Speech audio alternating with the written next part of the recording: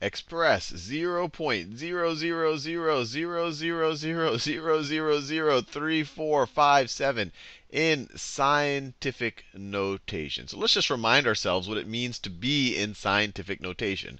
Scientific notation will be some number times some power of 10, where this number right here is going to be, let me write it this way, it's going to be greater than or equal to 1, and it's going to be less than 10. So over here, what we want to put here is that leading number is going to be, and in general, you're going to look for the first non-zero digit. And this is the number that you're going to want to start off with. This is the only number you're going to want to put ahead of, or I guess to the, to the left of the decimal point. So we could write 3.457. 3.457. And it's going to be multiplied by 10 to something. Now let's think about what we're going to have to multiply it by. To go from 3.457 to this very, very small number, I mean, we have had to move the decimal from 3.457 to get to this. You have to move the decimal to the left a bunch. You have to add a bunch of zeros to the left of the 3. You have to keep, you have to keep moving the decimal over to the left. To do that, we're essentially making the number much, much, much smaller. So we're going to have to we're not going to multiply it by a positive exponent of 10. We're going to multiply it times a negative exponent of 10. That the equivalent is you're kind of dividing by a, po a positive exponent of 10. And so the, the best way to think about it, when you move when you move your an exponent 1 to the left, you're dividing by 10, which is equivalent to multiplying by 10 to the negative 1 power. If you're, let me, let me give you an example here. So if I have 1 times 10 is clearly just equal to 10. 1 times 10 to the negative 1, that's equal to 1 times 1 over 10, which is equal to 1 over 10.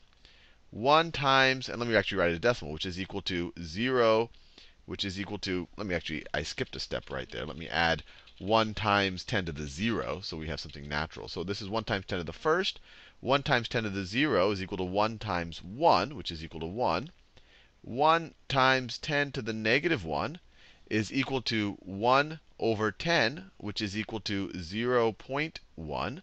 If I do 1 times 10 to the negative 2, 10 to the negative 2 is 1 over 10 squared, or 1 over 100. So this is going to be 1 over 100, which is 0.01. What's happening here? When I raise it to a negative power, I raise it to a negative 1 power, I've essentially moved the decimal from to the right of the 1 to the left of the 1. I moved it from there to there. When I raise it to the negative 2, I moved it 2 over to the left. So how many how many times are we going to have to move it over to the left to get this number right over here? So we essentially so let's think about how many zeros we have. So we have to move it one time just to get in front of the 3. And then we have to move it that many more times to get all of the zeros in there. So that we have to move it one time to get the 3. So if we started here, we're going to move 1, 2, 3, 4, 5, 6, 7, 8, 9, 10 times. So this is going to be 3.457 times 10 to the negative 10 power. Let me just rewrite it. So 3.457 times 10 to the negative 10 power. So in general, what you want to do is you want to find the first non-zero number here. Remember, you want a number here that's between 1 and 10, and it can be equal to 1, but it has to be less than 10. 3.457 definitely fits that bill. It's between 1 and 10.